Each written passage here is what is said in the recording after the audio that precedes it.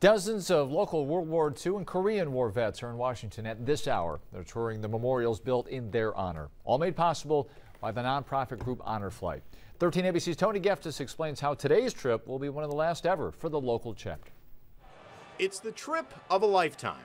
Anxious to get there. And it's all for those who dedicated their lives to defending our freedom. And I'm taking him for his 90th birthday present. Dozens of local veterans are headed to see the World War II and Korean War memorials in Washington, D.C.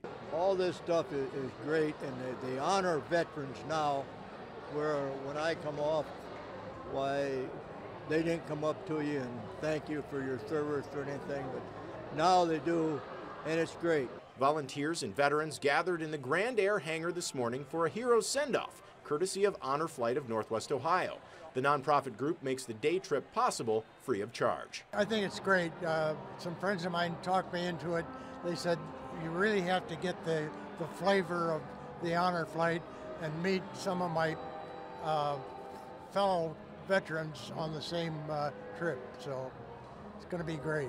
Today's flight will be the first of four this year. Honor Flight of Northwest Ohio says its mission is nearly complete, and this will be its final season. At the end of the season, we will have flown over 2,000 veterans to their war memorials, and we're pleased to say we, it's mission accomplished. We will have completed our list. The trip begins with a gesture of honor as the plane passes beneath the cross streams of two fire trucks. It was a very good time. They, they, they treated us like royally, like, like we were royal.